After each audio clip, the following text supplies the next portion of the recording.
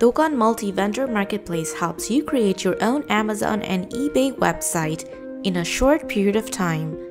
That means you can invite users to become vendors, promote your marketplace, sell products, and earn commissions. You can swiftly handle all these things using the Dokan Multi-Vendor Marketplace plugin.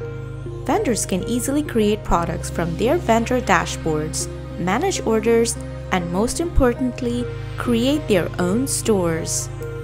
Let's see how you can manage and list your vendors using Dokan. So go to the vendors section from the menu and here you will be able to find all your vendors in a single place. Besides that, you will get all data related to your vendors. Also, you can find their details like store name, email, store category, and phone number. However, you can also enable and disable your vendors with a single toggle button. You can add vendors from here. Add your account information, address, and payment option, and hit the Create Vendor button. Has been added to the list. You can also find store categories if you set up the product category option as multiple from these settings. Here, you can create as many as you want.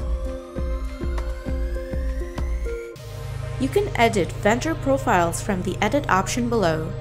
First, you will get a basic edit option after saving. Then, you will see the vendor profile. You can also edit the store category from here.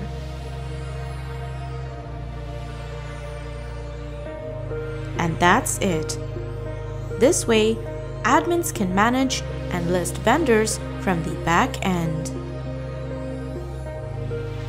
Don't forget to comment and share. If you want to learn more about us, sign up for our weekly newsletter, visit our website, and follow our social pages.